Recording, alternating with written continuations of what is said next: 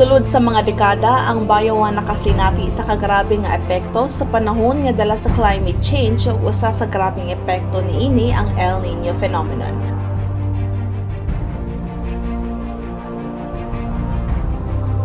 Nagpagawas ang DOST Pag-asa og opisyal nga datos nga ang El Nino gilauman nga magpadayon hangtod sa Enero Pebrero 2024 ug kadaghanan sa global climate models nagsugyot nga kini lagmit magpadayon hangtod sa Marso Abril Mayo 2024. Ang epekto sa El Nino mabati dinhi mismo sa bayawan, maobserbahan sa maba nga panahon sa pagulan o pagtaas sa kainit matag adlaw. Makaapekto kini sa mga mag-uuma, pamilya o sa atong pang-adlaw-adlaw nga kalihukan.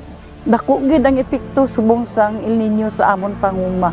Kay ang amon nga panguma wala sup hindi ka suportar ang tubi sa amon nga uma nang nangalaya ang iban namon nga mga tanom kadagko sa bangag sa amon talamnan gani gabuswak na tani na nga amon humay tungod sa kakulang sang tubi di ang iban gabuswak-buswak pero nang talaginos ang iya nga buswak kay tungod sa kakulang sang tubi dagko sang litik sang luta ang among humay karon ang ako nga humay karon.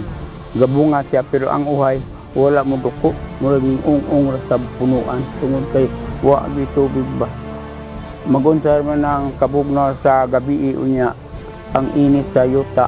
Pag-abot sa panahon na po sa pagkaadlaw put ni kusuga sa init niya kamay kaayong bugna nga mosulod mga gabi so dili gani kayamog sa iyang dahon Tunga-tunga pa naman sa Pebrero ang inisyal nga Damage Assessment and Needs Analysis Report gikan sa lokal nga sektor sa agrikultura mukabat na sa dili mo menos 16 milyon ka pesos ang kadaot nga epekto sa El Nino sa atong lokal nga mga manguma. Sa miaging mga tuig, bayawan mibalhin sa pamaagi gikan sa reactive ngadto sa proactive disaster management diin kini gipreparahan sa El Nino Task Force sa Dakbayan.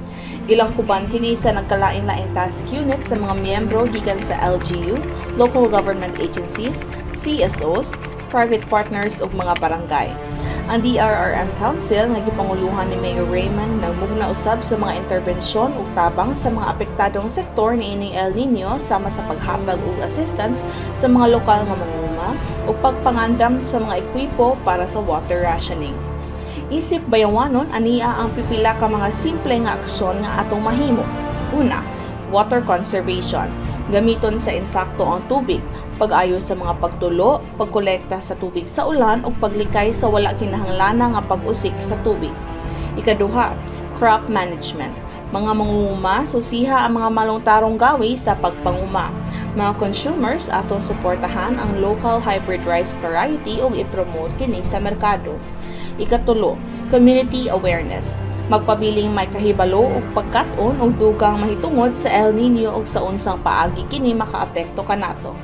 Dakong hagit ang El Nino apan pinaagi sa pagpaambit sa suporta ug hiniusang aksyon, mabuntog nato kini ug masiguro ang sustainable disaster resilience sa dakbayan sa bayawan. Be alert, be updated, be prepared. Kini si John Naquizon, gikan sa City Disaster Risk Reduction and Management Office, Ibayaw, Bayawan.